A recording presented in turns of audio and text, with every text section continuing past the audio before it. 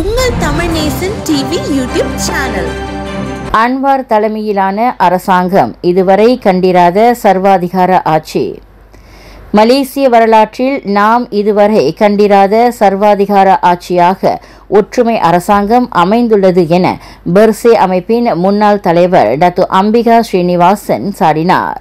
எதிர்க்கட்சியாக இருந்தபோது சீர்திருத்தங்கள் குறித்து மேடைக்கு மேடை பேசிய தலைவர்கள் கொடுத்த வாக்குறுதிகளை நிறைவேற்றாமல் காற்றில் பறக்கவிட்டனர்.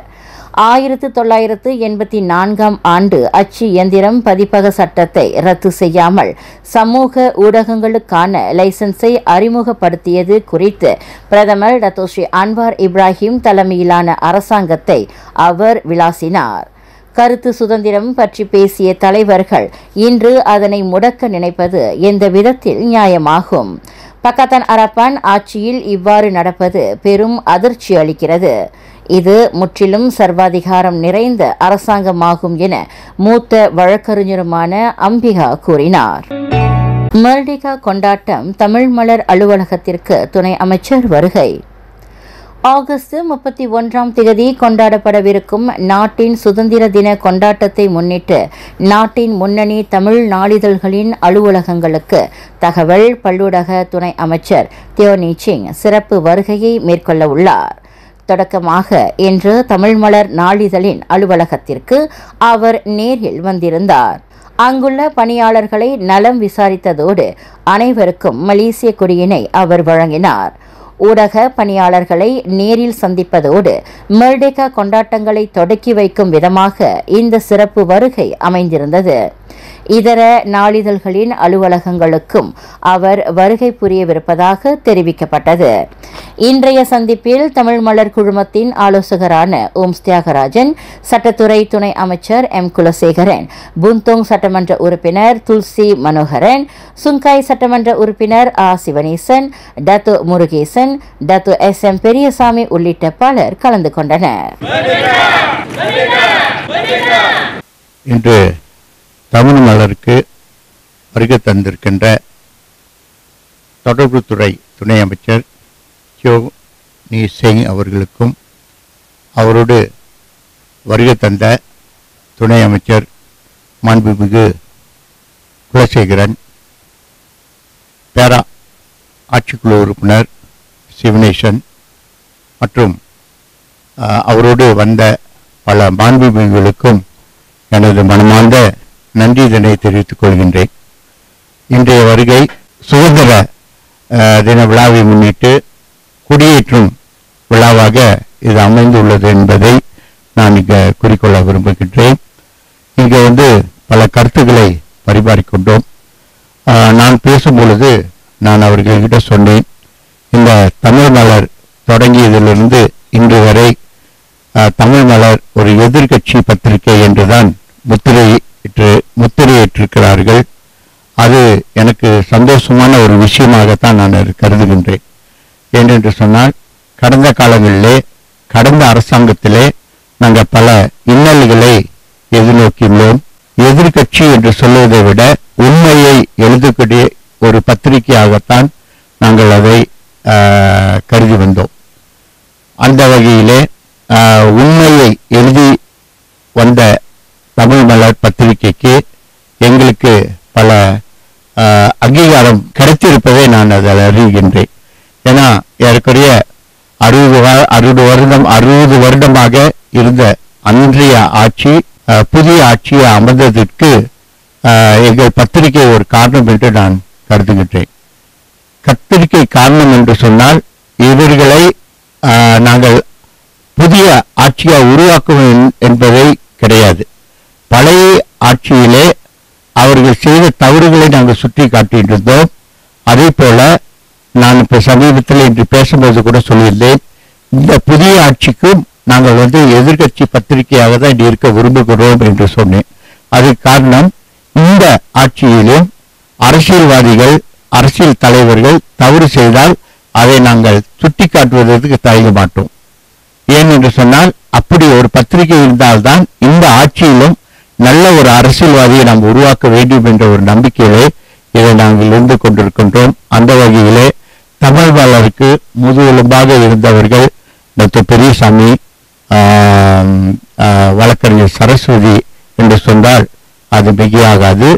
எங்கள் போராட்டத்திலே எங்களுக்கு கிடைச்ச அங்கீகாரம் அப்படின்னு சொன்னால் ஒரு புதிய பிரதமர் உருவாக்கியது எங்களுக்கு பங்கு உண்டு என்பதை நான் கூறிக்கொள்ள ஆசைப்படுகின்றேன். அது மட்டும் இல்லாமல் எங்கள் தமிழ் மறையிலே ஒரு குடும்பத்தை எங்கள் குடும்பத்தைச் சேர்ந்த ஒரு உறுப்பினர்களுக்கு உறுப்பினருக்கு துணை அமைச்சர் வழங்கியிருக்கிறார்கள் என்று சொன்னால் அதை தமிழ் மலருக்கு கிடைச்ச அங்கீகாரமாக நான் கருதுகின்றேன். அந்த வகையிலே இந்த வருகை தந்திருக்கின்ற துணை அமைச்சர் இது போல மற்ற பத்திரிகைகளுக்கும் அவர்கள் செல்ல வேண்டும் என்று நான் குறிக்கொள்ள ஆசைப்படுகின்றேன். ஏன் என்று சொன்னால் அங்கு போகும்போதுதான் அவங்களோட கருத்தையும் பத்திரிகை நம்ம நாட்டில மூன்று பத்திரிகை இருக்கு. அங்கேயும் அவங்க செல்லாங்க அவங்க கருத்தையும் அவங்க கேட்கக்கூடிய ஒரு வாய்ப்பு கிடைக்கும் என்று இந்த நல்ல வேலையில கூறிக்கொண்டு இன்று சுதந்திர விழாவை முன்னிட்டு குடி ஏற்றி அவர்கள் புறப்பட்டிருக்கிறார்கள். நாம் மலேசியர்களுக்கு சுதந்திர விழா வாழ்த்துக்களை தெரிவிக்கின்ற அதே வேளையிலே கடந்த காலையிலே காடியில ஒரு ஆஹ், நாமெல்லாம் பெரும் பாடுபட்டிருக்கின்றோம். ஆனால் இப்போ கொடி ஏற்றணும் அப்படின்னா சண்டைக்கு வராங்க. அது என்ன குறிக்கிறது என்று சொன்னால் பல வந்து வெறுப்பு அடைஞ்சிருக்கிறார்கள் என்று தான் சொல்ல வேண்டும். அதை வந்து பொருள்படுத்தாமல் நம்ம வந்து அதை உள்வாங்கி அந்த கொடியேற்றுவதை வீட்டில் மட்டும் இல்லாத அலுவலகத்திலையும் நம்ம காடுகளிலும் இதை ஏற்ற வேண்டும். கடந்த காலங்களில் வந்து கடந்த காலங்களைப் போல நாம் அதை உருவாக்க வேண்டும் என்று இந்த நல்ல வேலையிலே கூறிக்கொண்டு மீண்டும் இங்கே வருகை தந்திருக்கின்ற அனைவருக்கும் நன்றி கூறி எல்லோருக்கும் சுதந்திர தின விழா வாழ்த்துக்களை தெரிவித்துக் கொண்டு விடைபெறுகிறேன். நன்றி வணக்கம். ஒன்றாம் படிவ மாணவரை தாக்கி காயம் விளைவித்த ஐவர் கைது. இப்போவில் செயல்பட்டு வரும் பள்ளி ஒன்றில் ஒன்றாம் படிவ மாணவரை தாக்கி காயம் விளைவித்த ஐந்தாம் படிவம் பயிலும் ஐந்து மாணவர்களை போலீசார் கைது செய்துள்ளனர். பாதிக்கப்பட்ட மாணவர் அளித்த புகாரை தொடர்ந்து அவர்கள் கைது செய்யப்பட்டதாக மாநில போலீஸ் தலைவர் அசிசிமட் ஆரிஸ் தெரிவித்தார். இச்சம்பவத்தினால் காயம் ஏற்பட்ட மாணவர் ராஜபெருமைசூரி பைனூன் மருத்துவமனையில் சிகிச்சை பெற்று வருகிறார். பதினாறு முதல் பதினேழு வயதுடைய ஐந்து மாணவர்களிடம் விசாரணை மேற்கொள்ளப்பட்டு வருகிறது. அதோடு இதில் தொடர்புடைய இதர மாணவர்கள் அடையாளம் காணப்படுவதாக அவர் சொன்னார். பிரதமரை அழைத்துச் செல்லும் பணியின் போது டிராபிக் போலீஸ் அதிகாரி விபத்தில் சிக்கினார். இப்போ பண்டார்மேரு ராயா சாலையில் பிரதமர் டத்தோஸ்ரீ அன்வார் இப்ராஹிமின் காருக்கு முன் மோட்டார் சைக்கிளில் பாதுகாப்பிற்காக சென்று கொண்டிருந்த டிராபிக் போலீஸ் அதிகாரி விபத்தில் சிக்கி காயமடைந்தார். தமக்கு முன் சென்று கொண்டிருந்த கார் திடீரென brake போட்டதால் lance corporal Muhammad Faizol Rahman அக்காரின் பின்னால் மோதினார். இச்சம்பவத்தின் போது காரில் சென்று கொண்டிருந்த மாநில போலீஸ் தலைவர் அசிசி மட் ஹாரிஸ் ஆகியோர் காரை விட்டு இறங்கி வந்து அந்த அதிகாரிக்கு முதல் உதவி வழங்கினர். அதோடு சிகிச்சைக்காக அவர் இப்போ ராஜபெருமை பைனுன் மருத்துவமனைக்கு கொண்டு சென்றனர். முகமது ஃபைசோலின் நிலை தற்போது சீராக உள்ளது என தெரிவிக்கப்பட்டது. மேலும் சம்பவத்தை நேரில் கண்ட பிரதமர் டத்தோ ஸ்ரீ அன்வார் அந்த அதிகாரி விரைவில் குணமடைய பிரார்த்திப்பதோடு அவரின் சுமைகளை குறைக்க நிதியுதவி வழங்கப்படும் என தெரிவித்தார். இப்போ மேரு கஸ்வாரினா ஹோட்டலில் நடைபெற்ற உலக மாநாட்டிற்கு செல்லும் வழியில் இந்த விபத்து நிகழ்ந்தது குறிப்பிடத்தக்கது. ஜெராம் தோட்ட தமிழ் பள்ளி விவகாரம் கல்வி அமைச்சிடம் மகஜர் வழங்கினார் தேவி.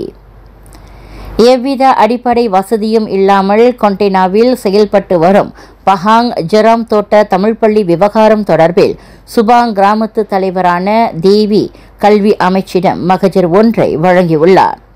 முன்னாள் பிரதமர் டத்தோ ஸ்ரீ நஜீப் துன்ராசா காலகட்டத்தில் பள்ளியை நிர்மாணிக்க வழங்கப்பட்ட மானியம் உட்பட அனைத்து நடவடிக்கைகளிலும் குளறுபடிகள் நிகழ்ந்துள்ளன.